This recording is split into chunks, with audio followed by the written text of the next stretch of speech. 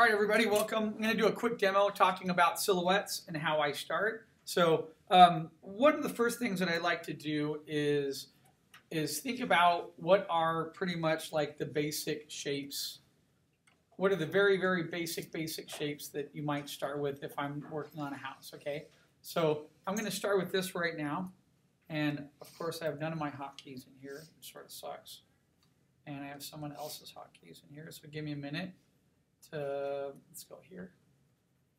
Okay, so I love using the lasso tool. I find it extremely friendly to start with, and I can draw on top of it, right? So what do I know right now? That is like the simplest basic form of a structure. And of course, remember the things that I told you guys, the bad things that are in there. So the bad things we talked about are having too much, too many 90 degree angles.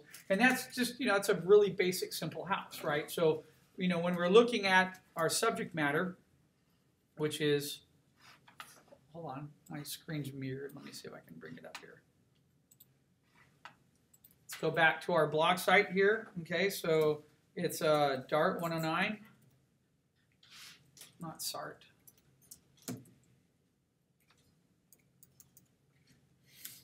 So if we come back and we look at our subject matter, um, we're talking about, okay, Old England. And as far as silhouettes go, you know, we were talking about this a little bit earlier. Um, there's basically, in my opinion, there's sort of like three different types of architecture when I look at, at medieval and old England and London. So you have architecture with people that lived out in the, let's see if we can find some of this, out in the countryside with houses that might look similar to this, where they're a little bit more man-made with man-made materials and the materials that were local to them. So that's one key thing right there is whenever you're designing a location, I mentioned this in your homework, is think of the theme that you're going to do. If you're picking Farmer's Village, that's your theme, then farmers are going to use materials that are around there. You're going to use trees from the forest, you're going to use rocks, they're going to use types of mud that might look like cement that hold everything together. They can mix, probably make their own cement and so on. Versus, you know, they're going to have, you know, probably two to three stories max. Um, but then once you start looking into, and you'll see that here on a lot of the the village, boat docks, and so on. It's going to be that same type of building theme. Once you start moving into bigger cities, okay, you're going to get to a little bit more expensive building materials. Where now you're going to have custom bricks that are used, okay. But inside a city like this, okay, if you look at this building over here, you're four stories, right? First, second, third, fourth. Okay, you get a little bit taller. All right, but one of the things that you're going to see, which is pretty fascinating, is that cities have old districts inside them, right?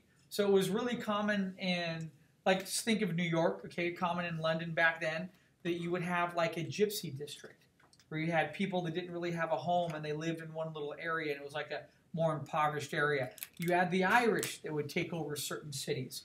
Um, you have the Scottish that would take over certain cities. You had people that were Welsh that would take over a little city and they would bring out their flair. You have people that were Dutch, okay, they were you know from Holland that would bring their flair and they would start to take over blocks of a city and then the buildings started to reflect upon part of their cultural background okay? That's really common. So if you're going to pick a city like this that's totally fine you can work like that but just remember are, are you is there a ton of stone right now in these buildings? No. There's going to be more man-made material like bricks there's going to be stuff that's going to be poured like cement edging and trimming okay now, we're not getting into all that detail right now to draw it, but it does affect the way that I think of in terms of the silhouette studies, okay? So what I'm going to do is I'm going to sketch something that's more sort of in this genre and something more along this area here, even maybe touching into part of that, okay? And I was mentioning before, what I like to do sometimes is I write down key elements that I see, okay? So let's go back here. Oops escape. Come on, where is it not?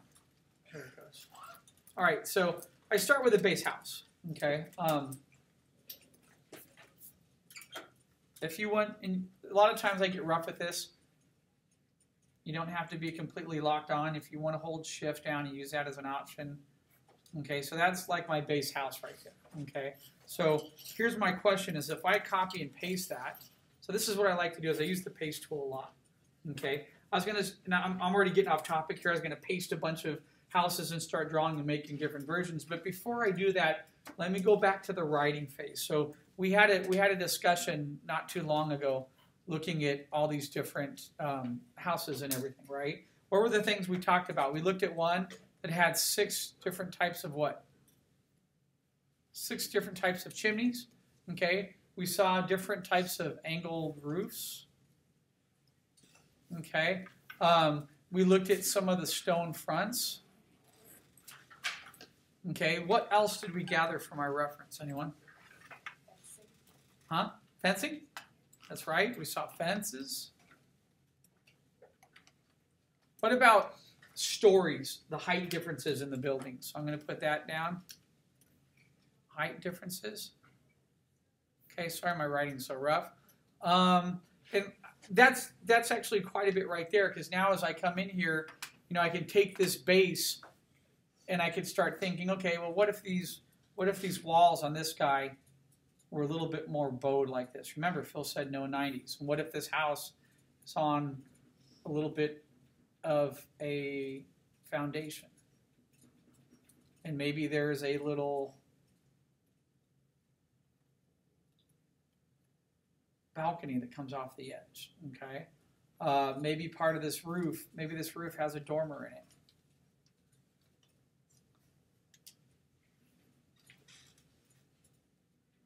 Okay, and then I mentioned the chimneys, right? So maybe I have a small little chimney that comes out here. Maybe I decide to come back here. I'm holding shift a lot of times when I do this. Shift's a great little tool you can just press on shift and then boom, you get a nice straight line. Okay, so now I have, you know, another chimney there, and then maybe maybe this is, again, I want this at sort of an angle. I want to avoid that um, that 90. Maybe I bring this roof out a little bit. Maybe the roof is a little old and it sort of curves a little. Okay. Maybe there's a support here under part of this.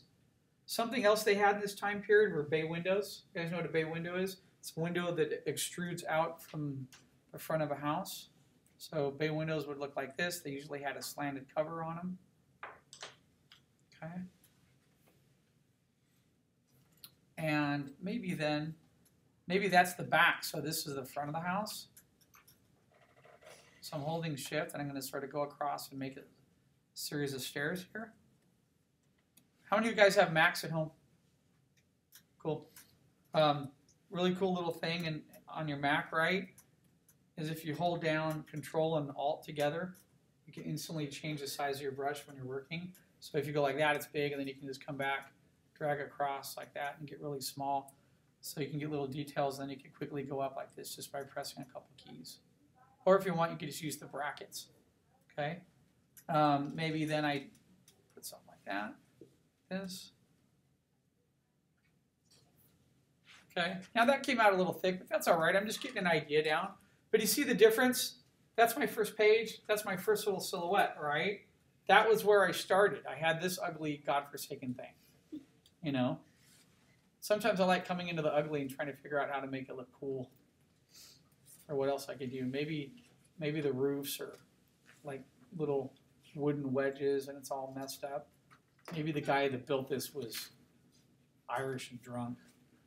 So he's got a like huge angled support that's off. You know, maybe part of the wall comes this way, comes out. Maybe there's a little porch or something here. See what I'm getting at? I just keep adding to it, thinking of different ways to enhance it. Okay. So the great thing about Photoshop that you can do is you could come into something like this, copy, paste it, bring that down, I hit Control T. If you have a three button mouse, if you have a Mac and you have a one button mouse, throw that thing in the trash and go buy a three button mouse because it's really easy. If you hit Control T, if you right click in any of the options in Photoshop, you have this instant window right here that pops up.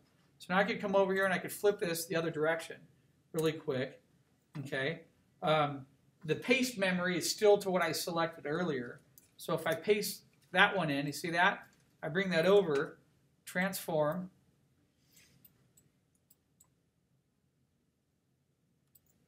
Okay. Um, so you see what I just did? In like two seconds, I just created a whole nother thumbnail based off of part of my other design. So if you use Photoshop, Photoshop's your friend. You can use these tools to save yourself a ton of time. Okay, so now watch. I have this guy, right?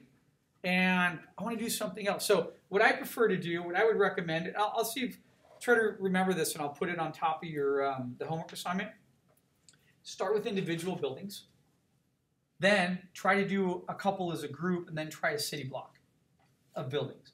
Because you're pushing your level of variation every time. So when you start with one building, you could use that, but then when you put in with three or four buildings, they all you start to introduce variation. And then when you have a city block, you can have lots of different variations and styles in it. Okay, so let, watch. Let's say I had this guy. So I want to come back to this. What I like to do too, I hate having multiple layers. I just control E, I put everything on one layer and just move it. To me, it's a lot easier, not wondering what layer was what and which one. And yes, technically, if you don't want to do that in Photoshop, the right button power, if you hit Command and you right click on that layer, it'll tell you what the layer is. See that? So if I do that there, it tells me, oh, that's layer 3. If I do it here, that's layer 4. If I do it here, it's layer 5. Really fast, easy way to work if you have a ton of layers, but a lot of times I find it just more efficient to commit and work on one. Okay, so it's back to this. So I'm going back to this godforsaken building here that I started with, right? I'm trying to think, what else could I do to it? What if I came over here and just, sometimes I just go for something totally different. What if there was some type of a huge, this guy was drunk, right? He's like a drunk Irishman. And I could say that because actually, even though I have more of my Greek side, my mom is actually Irish background. So I'm like the worst person in the world. I have Irish drinking combined with a Greek temperament from the Mediterranean.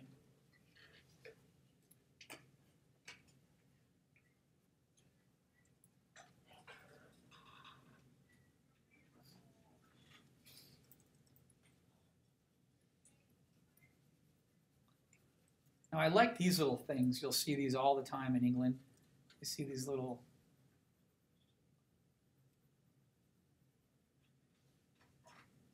great little signs that sort of hang down, all different types of shapes and sizes. They do a lot to match part of the time period, you know. I Make that look like one of those little windows that are open. I got this little guy hanging.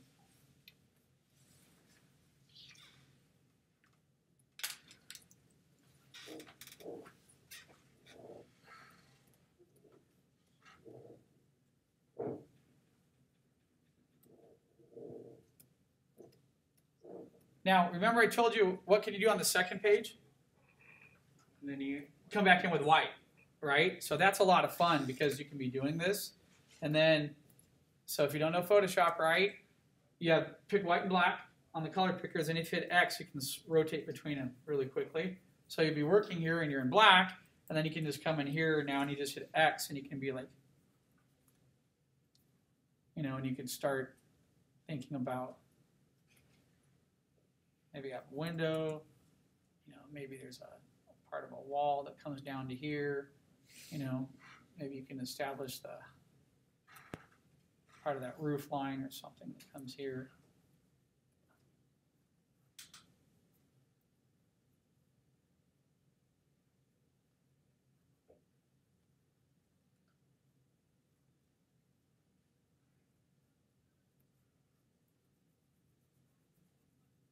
So use white however you want. It's up to you. There's no rules. So I could keep going with that. Maybe I decide like, oh, they, a lot of times they had like wood structures, like fascia beams, is what they were called. You still use them today on like houses and stuff, right? So maybe this is all like roof, and that was separate layer, and maybe this is like wood decoration. I don't know, like that. Okay, so you could use that on the second page. All right. Give me a second. All right, but we're back on the first page. Let's see. Come on, Photoshop, keep going. Let's see how far we can go back. Okay, real quick, let me switch back to colors here.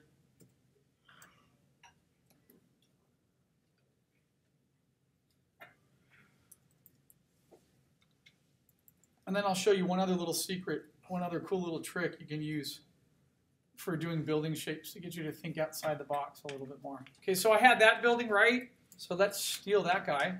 Take my last year right here. copy, paste them, bring them back here, right? Transform is your friend. So look at that. See how that building looks different now? Transform. Not only transform, what else do I have?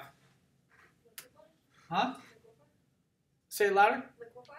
Well, that's more of a filter, right? But in the immediate transformations of distorting, I have warp. So watch, if I go back and say select all, if I go, hold on a minute here, select all of the, there, transform. So when I right click on this, under transform I have warp. See that? By clicking warp, what the hell? Hold on a minute. Why? Okay, something's weird on Photoshop. I have, there's a weird setting on here, and I don't know what it is. Because look, this is all that's on that layer, and it's selected. It should put the box right around it only. It's something with the show transfer. There it is. Maybe that's what it was. Um, when they, whenever they reinstall software on our machines, we lose all of our settings and all of our things. So let's see if this does it now. And I go to warp. There it goes. So it was going to the whole screen. Now it's going all into the object that I selected. So what's cool with warp is this. See, I can grab a corner of that house now. I want to put more character on it. Okay, well I have all these options, right? So let's just let's mess with this building for a minute here. So that was warp, right? Look at distort, skew, and perspective. Those are great too. So under skew, it allows me to grab one side and pull it out like so. Okay. Under perspective, oh, excuse me, that was skew. Under distort, it allows me to grab a corner and move one corner at a time. Okay. See, I can create something totally different with what I already have. Okay. Um, and then perspective will move them both in at one side if you wanted to put it like on a grid. You see that? So if I wanted to do a floor tile, I can take like a brick pattern or a wall pattern, put it in perspective, adjust it, it moves both sides at the same time, and then it makes it look like it's working uh, together. But warp is really fun for silhouettes, okay? Uh-oh. Transform, warp. And what's cool about this are you have these little points here, okay? Who knows puppet warp? Anyone? Okay, I'll show you that really quick too. That's another selection. It's in the transformation family, but a little bit different. So here, I'm in warp, right? Look at what I can do with moving a point around. See how cool that is? Look at that gesture I could put on that building. Then I could come back here, touch here. See, I can grab that. Then I could keep pulling that guy in, and then I could grab this, pull him in. I could grab that arm and pull that in. See what I'm doing? I'm getting some really cool effects on that house. We're like, whoa, it looks sort of melted, right? So that's a really fun tool, okay? Now, Puppet Warp. Now, this is what I hate about the show transformation is it leaves that box on. Let's go to Warp.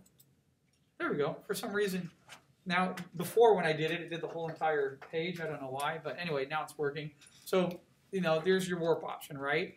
Okay, check this out.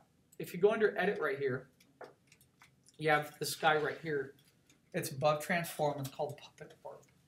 And this is a new tool in Photoshop that allows people to manipulate photos really quickly, but it works fantastically for silhouettes, silhouettes too. Okay, this is how you use it. First thing you want to do is I would select your object.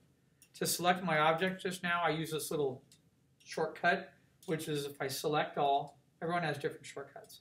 If I hit V, which is the move tool, and then hit an arrow down or up, it selects the whole entire object on that layer for me.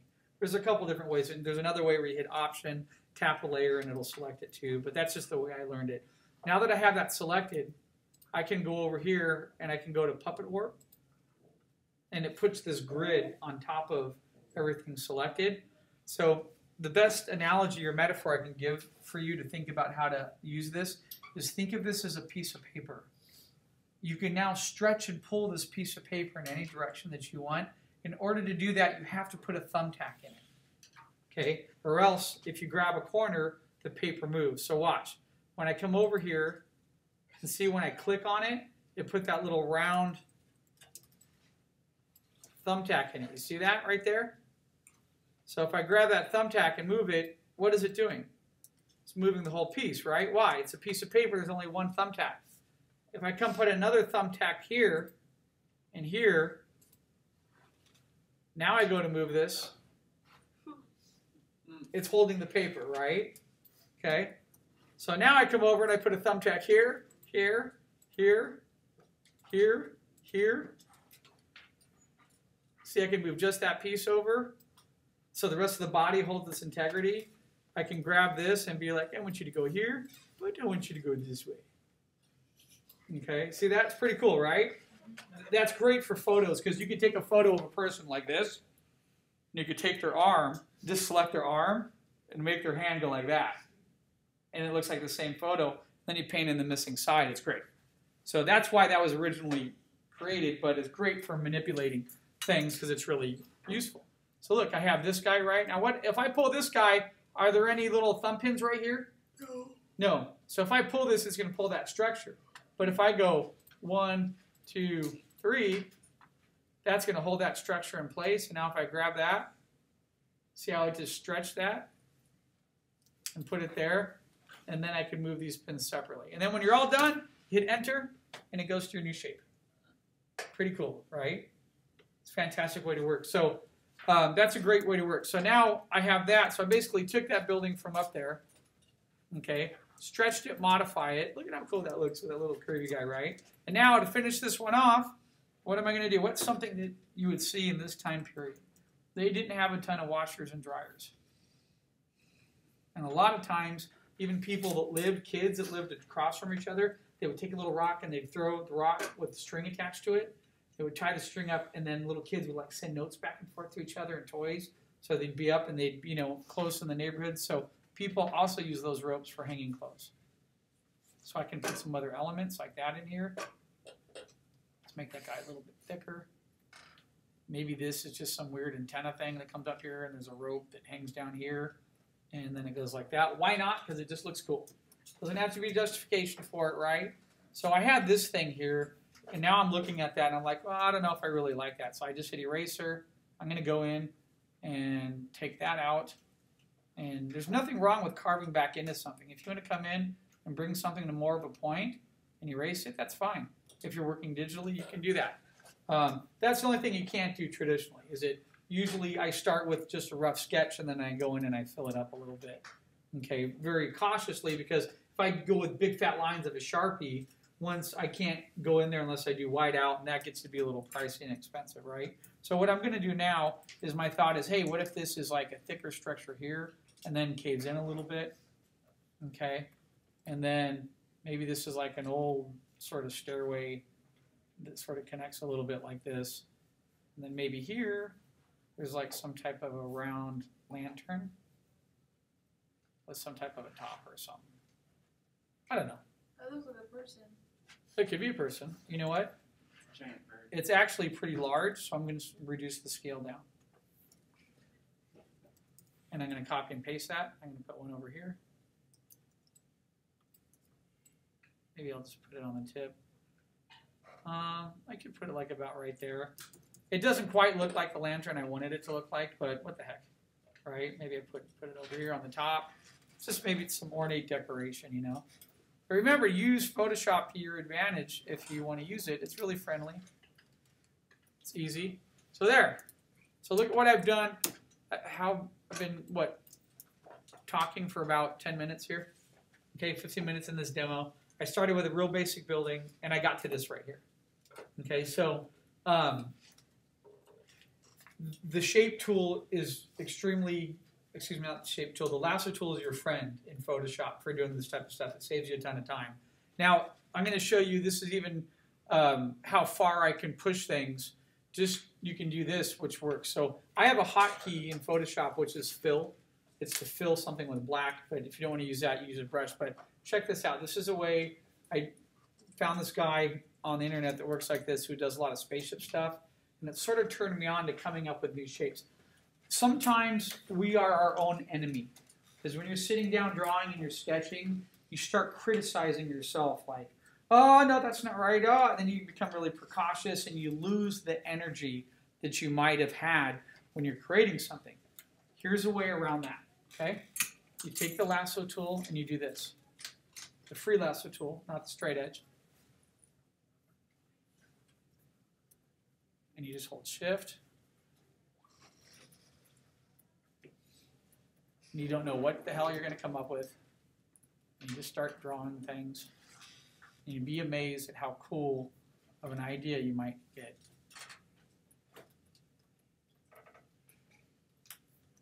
See what I just did there? Super quick. I go to brush, enlarge my brush, deselect. Now I'm going to go in and fill in anything that might not be there that I don't want to be there. Like this. But what's cool about that is see how it looks like it's on a hill now?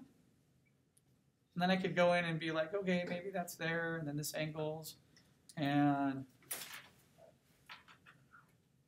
I don't know, maybe this is like a little extension to the house, I guess. Maybe there's an angle here. Maybe it has one of those wooden things that hang like this, and it has a round wheel.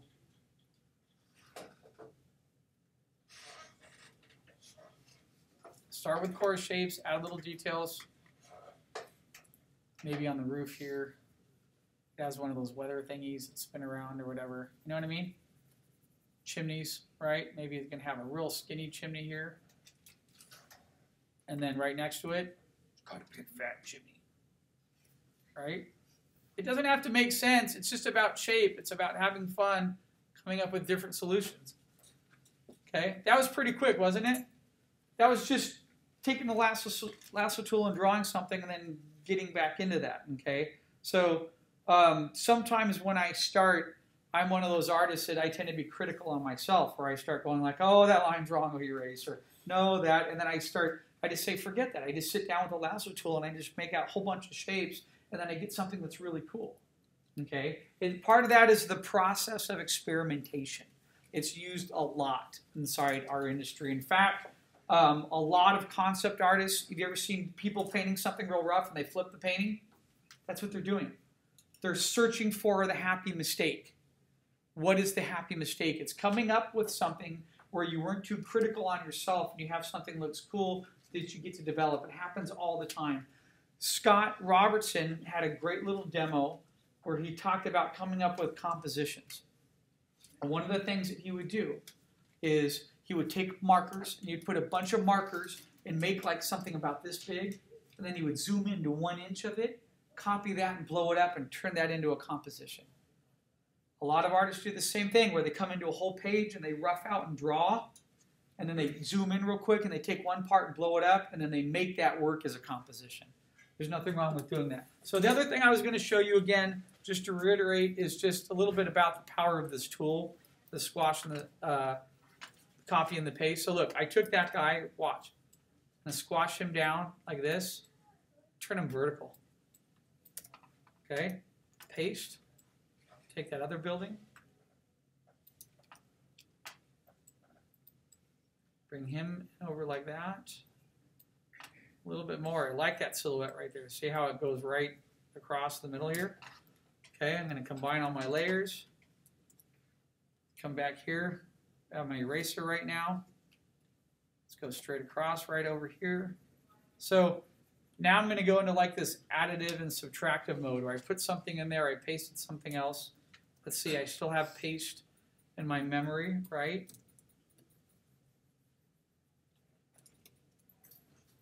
Erase all this, transform,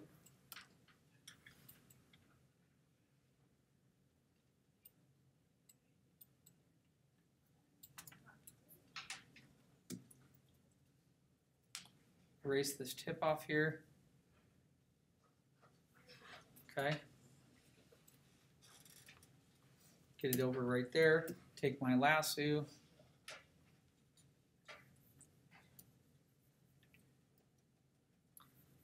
fill that, deselect it. We got something different now, right? Really quickly. So don't be afraid to use some of the other elements that you've already made and see how they pop up, okay? One other thing I do sometimes to throw some variation into my pieces is I, I take a, a shape and copy and paste it and see where I can put it around. Let me show what I mean by that. In order to do this, I want I want you to see. Um, I'm going to brown the back of the page because with white you can't really see. So I'm going to select the 20% grade, select all, edit, fill. I already put a layer on the back here. See that? It's a gray. That's actually not a bad idea. That way it makes your white pop out as another type of highlight. Okay. So something I would do quite a bit is I take something really simple and fast like this. Oops. Um, let's just make a couple chimneys real quick, okay? And then I'll have them all on one layer, and then I could use them to my, my will. So deselect, I'm gonna go to lasso. Let's start with the hard. This actually can be a really useful tool when you use it right. So I can go like this, go like this, this, this. That's one, okay?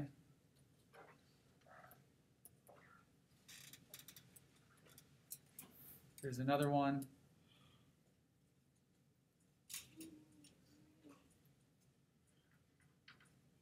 Okay, got those done.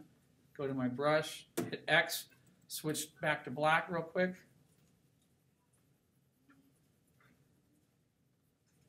Okay, deselect. So those are going to be different types of chimneys, but they're 90 right now, right? So let's fix that really fast. Oops. Lasso, Command Transform, right click on that with your third button mouse, go to Distort, right? Move the bottom in, now it's tilted. It's at a slight angle, it's a little bit different, it's more interesting to the eye. That's all 90s, right? Command Transform, right click on it, let's go to Warp. Let's pull one side over a little bit like this, let's pull that, let's bring a end up a little bit, bring that end up a little like that. Drop this guy down a little, okay, done, that's different. All right, you select, go back to your lasso again, select this guy here. Um, let's go to transform. This time, what something we haven't done yet? We haven't done uh, skew. Let's do skew. Skew's sort of boring sometimes, but sometimes it works a little bit. See, it only it doesn't allow you to bring down; it only lets you go one or two ways, but that's cool. Okay, there we go. So now I have those. So now I could come over. The other thing I was going to do on this white background was a couple windows. Okay, so let's do that really quick. And select this, X. Okay, my brush.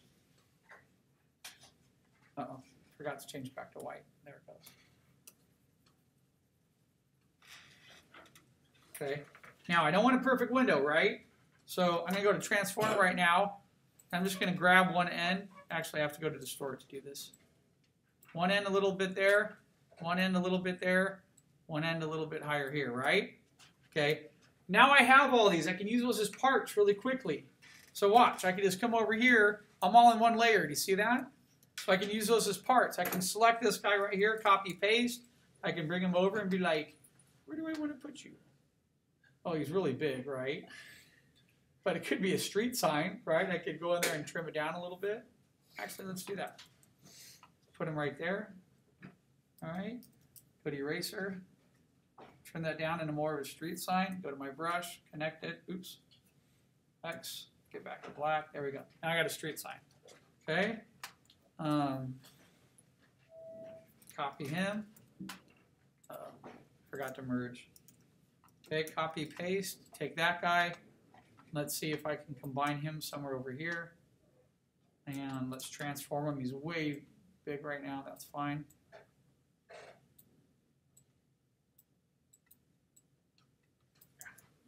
Leave him up over there. Actually, I don't like him right there. He sort of ruins part of the. Maybe he's up there. He's like some type of a sign. I don't know. But see what I'm getting at? I'm just using these little parts to my advantage. The windows. Windows are key. All right. See that there? Take him, copy paste, transform, right click, tell it to flip vertically so they look a little, little bit different. Okay, and then paste again. Transform. Let's go to uh, distort again. Grab one end out, pull it out a little bit, a little bit different. Save myself time. Grab all three windows. Merge all my layers. Grab them, copy, paste, bring them down here. Oops. Oh, I made a small mistake. When I merged, but that's okay. I'm going to do it like this. I'm going to select it right in real tight on just the windows, copy paste, bring them down here, transform, use them as little windows. Contrast, opposites, okay? So now I can take those guys, and I still have the paste memory in there, so they came out large again, so that's easy. Transform, scale it down, squash them, bring them over there. That, erase one if you want, it looks different. See, it's fun. You can use part of the software as your friend to help define some of the stuff. Okay, so um, one of the problems that happens with your art and when you're working is I just spent 20 minutes looking at it like this, up close. Your eyes become used to it. Finish one page, stop it, walk away. Go outside, look outside at the air, talk to your mom, go say hi to your dad, pick on your younger brother, okay, whatever it is. Come back in half an hour, and when your eyes are fresh, you will be able to look at it and you will notice what is appealing and not appealing. You will notice your mistakes. When you sit and look at something forever and render the heck out of it for hours and hours and hours, your eyes get so used to it that you don't notice the mistakes anymore. Have you ever done that where you've worked on a piece of work for like four hours and then you walk away and you come back and you're like, oh my God, what was I thinking? It's all rendered wrong or looks horrible. That's why your eyes get used to it. So now I could come back, I could look at this, and I have a good idea. Like, I mean, this always happens to me. Look where I started. It's boring. Look at where I'm ending up right here. That's fun. It's getting squashy and stretchy. I'm having some fun, and I could keep taking any of these designs and I could keep manipulating and adding to them, okay? Think about contrast. What I mean by contrast, what happens if you have a round building with square buildings? What happens if you have houses next to the taller Victorian houses, okay? Where would Sherlock Holmes live? Think about stuff like that. What if you have a building that has a huge roof that's much bigger than, let me do that one real quick for you. So when I think of contrast, okay, that's the type of stuff that I think of on a regular basis. A lot of things I was drawing here just to show you, um, not that it's off, but okay, um, is it that height is almost the same height as that, which is really similar to that. See that? That's boring. Okay. Um, so what happens when I do this? When I think of having a roof like that, and then my building is like that, and it has a. See what I'm getting at? The roof is twice the size of the building. That becomes a little bit more interesting. Or, and then I go next to it, then I have a giant building that's huge. Then that has a squashed roof. Okay? So those are opposites. Playing opposites with, with each other are going to give you better design results and can make things look more appealing. So I can take those shapes now and then I could start working on them. And I could add in the other little details. I can add in a chimney. I can add in an overhang you know, and I might get something that works pretty cool. Okay. Um, Sketchbook Pro. I know I've been working in Photoshop here. The one thing that I really like about Sketchbook Pro, you know what? It's not installed on this machine. Oh, there it is. Let me pull it up really quick. One thing I like about Sketchbook Pro that's pretty cool is that the lasso tool works differently and it holds itself from the beginning so I can go like this Just follow the shape you're making of a building. See what it's doing? So I can think about, and then it ends. See how I just did that? And then I could come over and grab and just fill it with a touch of the bucket tool. Okay, grab the bucket, and if I'm on black, and then I could touch it, boom. Actually, it disappeared there. I don't know why. This might be the newer version. It is seven. I have six. Anyway, so um, that's friendly sometimes, but it's really not that big of a deal. It has layers in here, and it gives you a lot of the same things that Photoshop has. So if you can't afford Photoshop and can't get it, you know, but there's some really great deals on this right now. So anyway, come in here, have fun, stop, take a look at your reference, go back, look at, take a look at your buildings, play with it. Okay, so um, I'm going to update the blog right now. Let me stop the recorder real quick. What time are we at? We're a good time.